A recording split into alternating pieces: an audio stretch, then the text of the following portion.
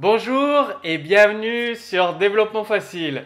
Donc dans ce nouveau cours, je voulais partager avec vous le code source d'un jeu qui est vraiment euh, très très bien codé. C'est le fameux jeu 2048, donc il est possible de récupérer son code source sur YouTube, sur Internet, ce que j'ai fait et j'ai intégré. Et il est vraiment très très bien fait, donc je voulais partager avec vous ce code source. J'ai rajouté des commentaires en français pour vous aider si vous avez besoin de, si vous souhaitez le réutiliser dans, vos applications, dans vos projets. vous avez la touche R qui permet de, relancer une partie ou sinon vous appuyez sur nouvelle partie tout simplement. Donc c'est exactement les mêmes graphismes du fameux jeu 2048 que vous connaissez. Donc après il suffit de déplacer les cases pour, euh, les assembler et petit à petit faire le score de 2048. Voilà, tout simplement. Donc on va regarder le code source ensemble pour voir justement bah, comment ça a été euh, développé. Un jeu vraiment euh, très très bien conçu qui, dont vous pourrez vous inspirer. Donc tout d'abord, vous avez votre fichier index.html où vous intégrez bah, tous les éléments du jeu, le fameux fichier main. Donc vous remarquez que tout est bien séparé dans différents fichiers CSS, les animations, la gestion du clavier, la mise à jour euh, de l'interface du jeu, la gestion de la grille, la gestion des cases pour stocker en local, c'est-à-dire que si je recharge la page, je retombe exactement sur mon jeu. C'est euh, génial, donc ça vous permet bah, de reprendre des parties que vous avez dû arrêter et la gestion du jeu en lui-même. Donc là, vous avez toutes les divs qui vont accueillir bah, les différents éléments, le, votre score actuel, euh, nouvelle partie, le meilleur score, le titre du jeu, les, les, explications.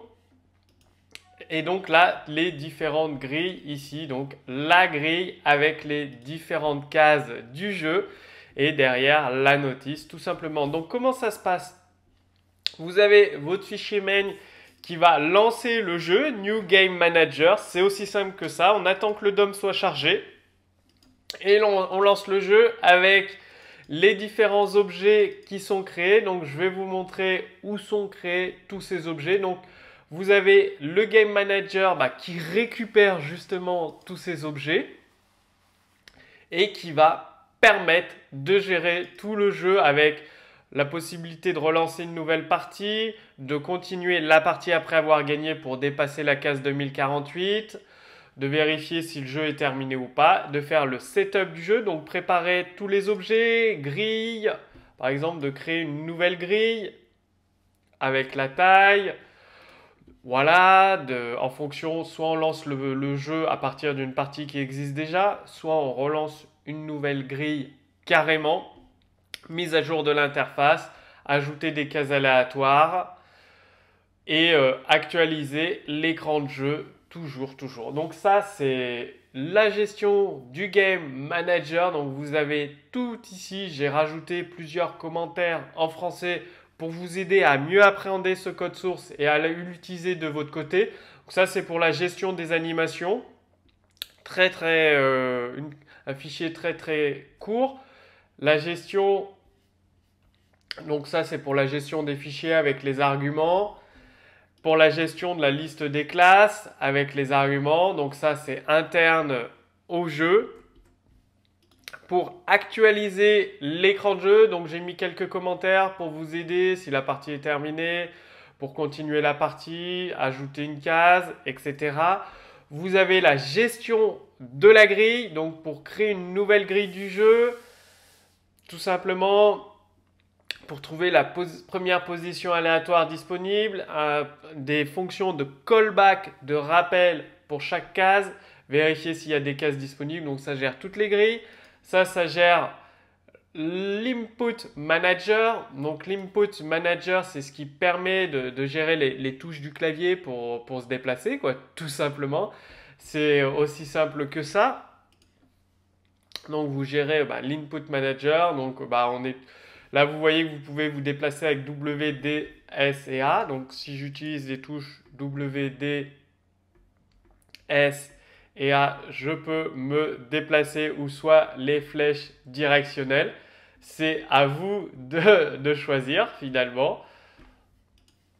Donc là, c'est la gestion de toutes les touches en fonction bah, R pour redémarrer le jeu, des touches qui sont euh, bah, appuyées par le joueur, eh bien vous avez les, les fonctionnalités qui sont lancées. Là, c'est la gestion en local du jeu. Donc si vous quittez la page ou si vous la rechargez, bien évidemment, vous retombez sur votre dernière partie. Donc c'est vraiment très très pratique. Vous récupérez avec des getter setters tous les éléments dont vous avez besoin. Et ça, c'est pour la gestion des cases elles-mêmes. Donc bah là, vous avez tout ce qu'il vous faut pour le jeu 2048. Donc c'est c'est vraiment euh, génial euh, bah, pour Bah, pour vous aider justement à, à créer un jeu, à bien l'organiser en différents fichiers JavaScript. Là, on part de fonctions et après, on écrit des prototypes. Donc, c'est des méthodes. Donc, c'est comme si on définissait une classe avec des méthodes. Et c'est ce qu'on passe tout simplement ici. On appelle la nouvelle fonction et après, on appelle les méthodes. Donc, c'est comme si on instanciait la classe Input Manager, regardez, il est ici. Keyboard. Euh, on lui passe euh, Keyboard Input Manager. On lui passe tout simplement cette fonction. Et donc ça, c'est une fonction qui contient un prototype. Et les prototypes, c'est les méthodes qui sont utilisées tout simplement. Donc regardez, on lui passe la fonction Keyboard Input Manager qu'on récupère ici on fait un New Input Manager, nouvelle fonction, et on appelle les prototypes .on. Donc on a la méthode, c'est comme si c'était une classe, on, simule le comportement programmation objet, une classe .on. Donc là, vous avez vraiment tout le code source qui est commenté, ça va vous permettre de vous aider à créer bah, tout simplement le jeu 2048. Vous pouvez vous inspirer de ce code source pour créer justement vos prochains jeux. Alors, comme d'habitude, vous retrouverez le code source complet et commenté sous ce cours vidéo.